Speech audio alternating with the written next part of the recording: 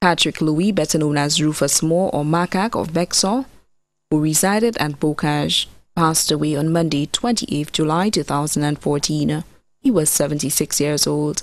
Left to mourn his four sisters, including Agnes Moore, better known as Marina of Bexon, five brothers, including Romeo Moore of Bexon, one son, Rayon Solomon, better known as Jesse of Bexon, four grandchildren, cousins, including Mary Anthony, better known as Miela of Bexon, Tiffy of Cul-de-Sac.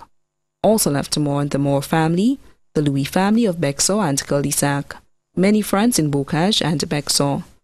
The funeral service of the late Patrick Louis, better known as Rufus Moore or Macaque, will be held at the Bexon Roman Catholic Church on Thursday, 28 August 2014 at 3 p.m. Then the body will be laid to rest at the Bexon Cemetery.